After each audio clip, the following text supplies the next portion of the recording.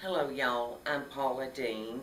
I was invited this morning to speak with Matt Lauer about a subject that has been very hurtful for a lot of people.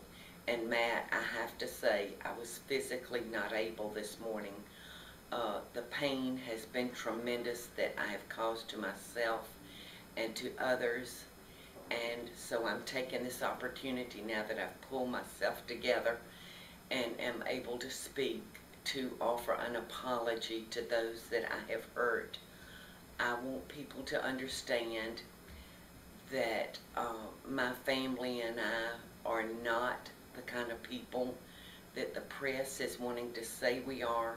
Uh, I've spent the best of 24 years to help myself and others.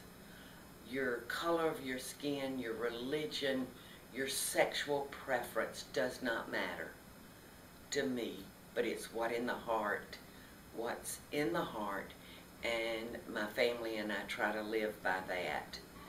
And